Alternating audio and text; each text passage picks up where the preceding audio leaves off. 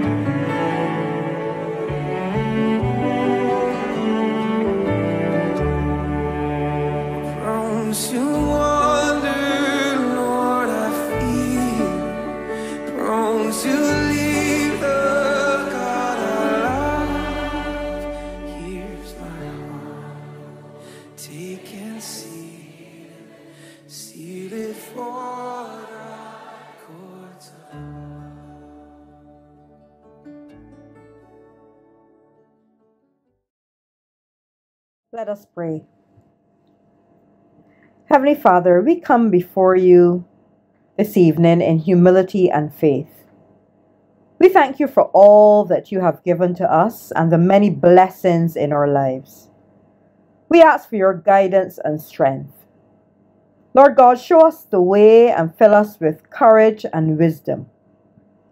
Help us to remember your love and grace and to be faithful in our service to you.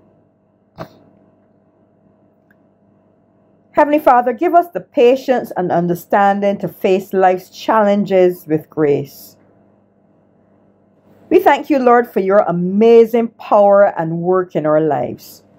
We thank you for your goodness and for your blessings over us. We thank you that you are able to bring hope through even the most challenging of times, strengthening us for your purposes.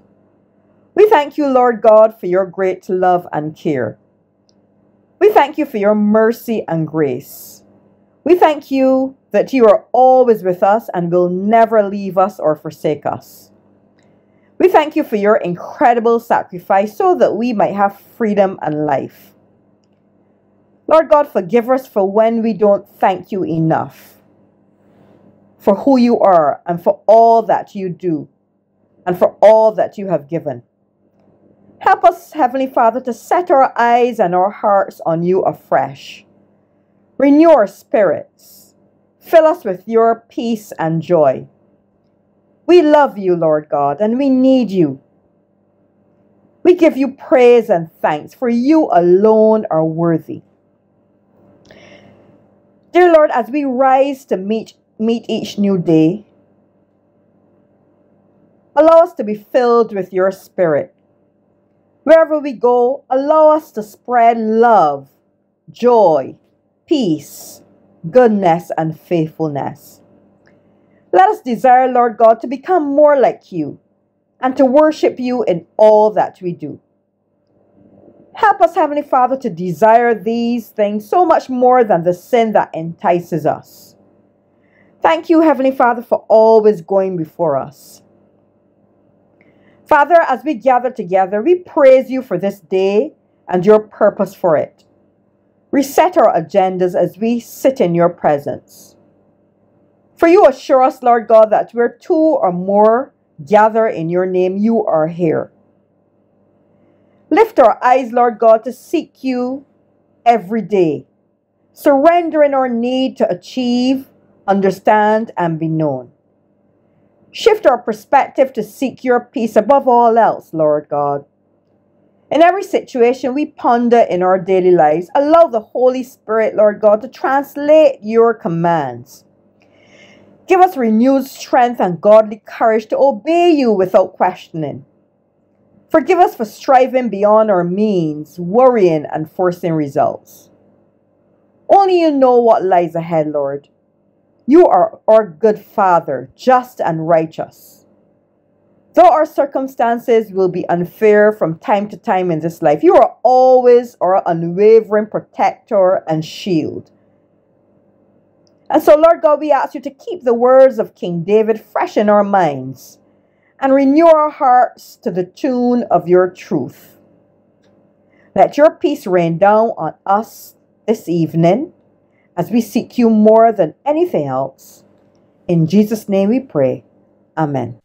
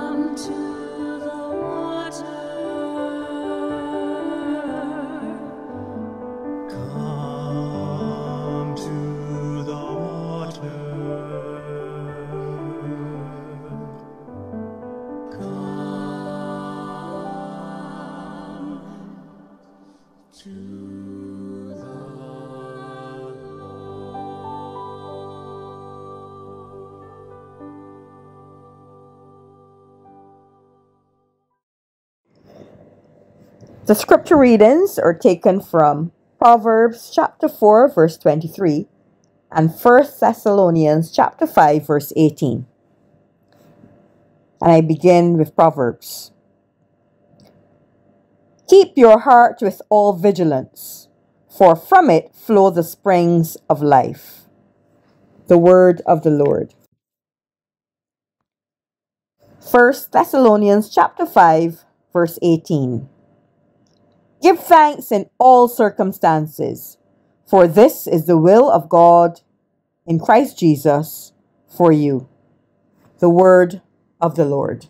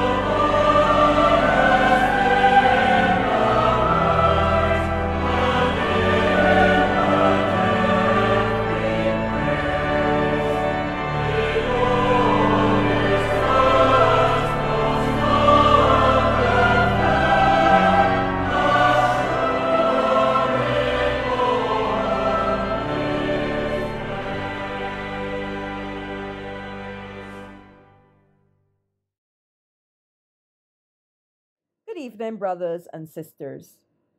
This evening, we will be sharing on the topic A Grateful Heart.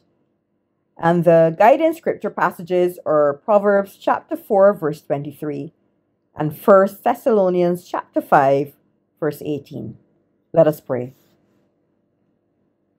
Sovereign God, we come before you this evening to hear your word.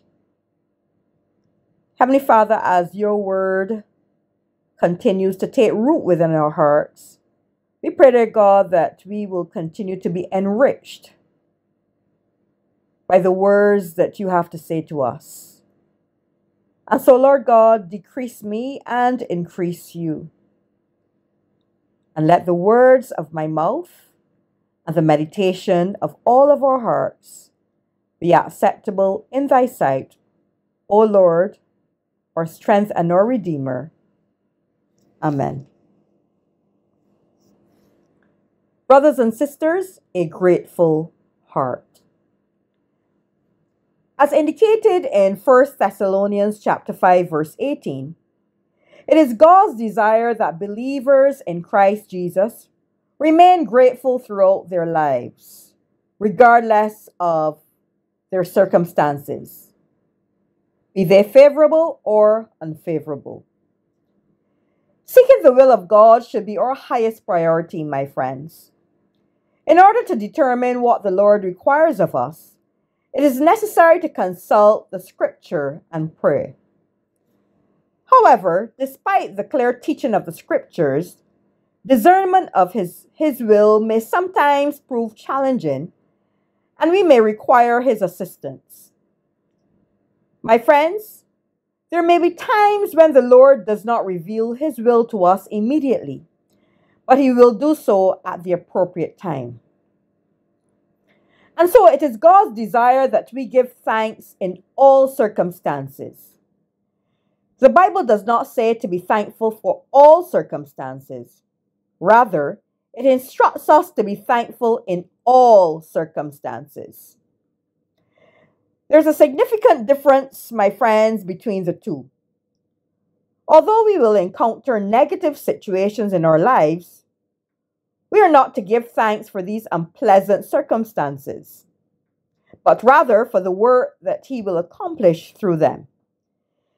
It is noteworthy, therefore, that even though our circumstances and seasons change, God remains constant.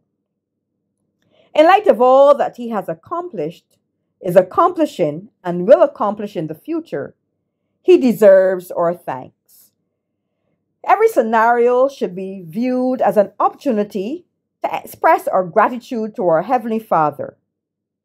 Whatever the season, we should strive to cultivate a grateful heart. Psalm 100, verse 4, instructs us to enter his gates with thanksgiving and enter his courts with praise. My friends, we are to praise the Lord and give him thanks. Despite his all knowing nature, the Lord values our requests and our appreciation, and it's of great importance to him. A habitual expression of gratitude is a valuable means of developing a deeper relationship with our Lord and Savior Jesus Christ.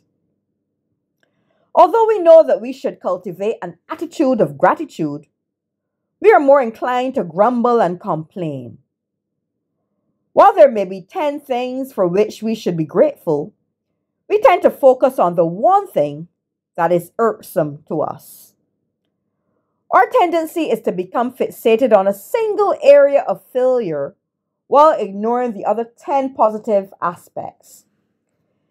In view of the fact that gratefulness is a habit that can be developed, one commentator Pastor Eric recommends that we cultivate a gratitude filled heart by placing ourselves in a position where it can be nurtured. How can we cultivate an attitude of gratitude in our daily lives? Proverbs chapter 4 verse 23 provides the answer. Solomon, the third king of Israel said, Guard your heart with all vigilance, for whom it are the sources of life. The word guard can also be translated watch. Watch your heart. It implies, my friends, that there is something valuable to protect. As fragile as the heart may be, it is also of utmost importance and value. One day, Solomon was given the opportunity to ask God for anything he desired. While he could have asked for riches, fame, or the defeat or death of his enemies, he asked God to grant him wisdom that would enable him to judge and lead the Israelites in an ethical and honest manner. The fact that Solomon requested such wisdom pleased God. So he bestowed it upon him as no one else had or would have after him other than Christ. Not only did Solomon receive wisdom from the Lord, but also riches and honor which made him the greatest king of his time. Solomon imparted many lessons to us in Scripture, such as Ecclesiastes, Song of Solomon, and an extensive portion of Proverbs. Whenever Solomon speaks of guarding one's heart, he is referring to the innermost core of one's being, as opposed to the physical heart, which pumps blood throughout the body He's referring to the individual's inner core, the thoughts, feelings, desires, attitudes, and choices that are characteristic of him or her. The expression of gratitude does not begin with words, or words may express it, but according to commentator Pastor Eric, it actually begins in the heart. The spread of bitterness sometimes is similar to that of a virus. It is contagious. Everything we touch is infected with it. My friends, whenever our hearts become bitter, we begin to act out of act out of that bitterness. We respond to offenses with actions that are vengeful and demeaning, which will ultimately impact our other relationships. When we feel guilty, we will not out of love, but out of guilt. Likewise, the fear we feel in our hearts will prompt us to behave in a fearful manner. The same is true of gratitude. Though being gratitude is not an obligation, we wish to express our appreciation to God for the kindness and generosity He bestows upon us. Serving Him is an honor, a privilege, and a joy. To ensure that gratitude is evident throughout our lives, we must cultivate it. Rather than being led by fear and guilt, we should be guided by love, faith, and thankfulness. The heart is the source of gratitude, and therefore we must safeguard it and pray the Psalm David addressed to God in Psalm 139, verse 23 and 24. David said, Search me, O God, and know my heart. Test my thoughts. Point out anything you find in me that makes you sad, and lead me along the path of everlasting life. My friends, listed below are four points that can poison a grateful heart. The first one is discontent. Discontent or dissatisfaction is caused by an obsession with what we do not have while ignoring what we do have. So, how do we counter dissatisfaction? We count on our blessings. The time has come for us to focus on our blessings rather than our challenges. A wise person once said, He who is not grateful for the things he already has would not be happy with what he wishes he had. And so, as Paul demonstrated, having a contented life is attainable. To be thankful in all circumstances, however, we must learn how to cultivate gratitude. The second poison, disappointment. A second factor that may poison a grateful heart is disappointment or a past hurt. It is important to note that the moment we are in the presence of another individual, we are liable to experience disappointment. Godly individuals, however, will not intentionally engage in such behavior. For instance, we may commit time and effort to someone who does not reciprocate, who disagrees with us, who criticizes us, or fails to appreciate our efforts. And this may result in disappointment. However, despite our efforts, we will disappoint someone at some point. Life is full of disappointments, and we cannot allow other people's actions to adversely affect our hearts. My friends, we should therefore place our trust in God since He will never let us down. Our gaze must be upward and our walk upright. We must also protect our hearts as they are the driving force behind everything we do. The penultimate factor, dis- disillusion. This is the third factor that may poison a thankful heart. It is defined as the condition of being dissatisfied or defeated in expectation or hope. Disillusion generally occurs when one learns that a certain thing is not as good as it appears.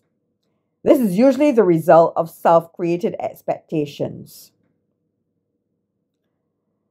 The sad reality in the world today is that so many Christians are afraid of loving sinners since they believe doing so would compromise their faith. In loving the sinner without accepting the sin, we embody the love of Jesus who loved us without restriction. A very tangible manifestation of God's love is revealed to us in Romans chapter 5 verse 8. As we wasted our lives in sin, Christ died for us. While we were enemies of God and of righteousness, he loved us nonetheless. The cross was the punishment for our sins. Because Jesus loved us so much, he sacrificed himself in our place.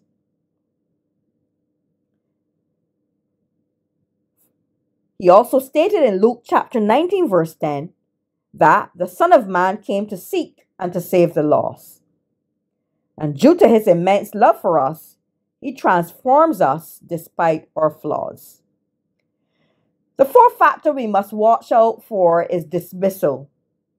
This term is representative of individuals who are troubled by the absence of support and belief from those around them. King David is an excellent example of this.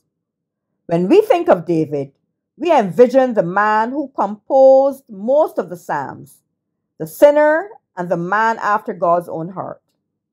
However, do we recall young David who was forgotten by his father?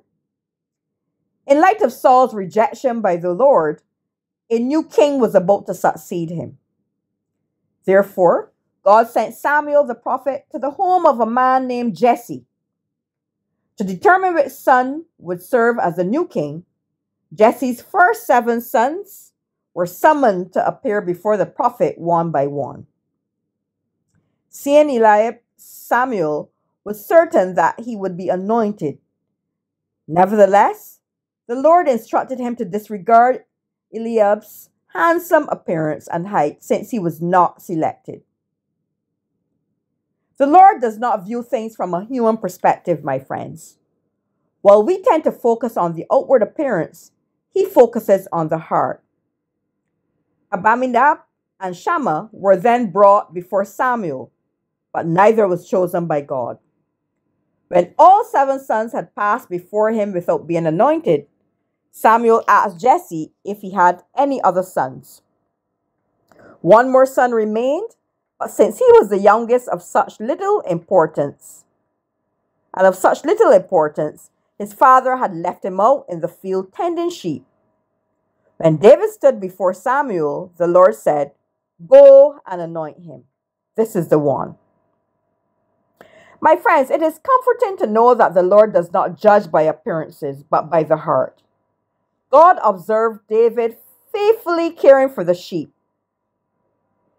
Yet, he performed it with utmost diligence, although some people would have felt that it was very mundane. Despite his father's disdain for David, God saw David honoring his father. And so, safeguarding our inner being is of utmost importance, my friends. For us to achieve the goals the Lord has placed within our hearts, we require guidance, encouragement, and support from those around us.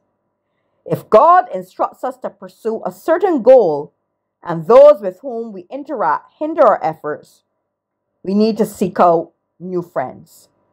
It is imperative, therefore, that we guard our hearts. In the event that we allow our inner core to be affected or infected, it will negatively impact our relationships and our actions since everything stems from the heart. Amen.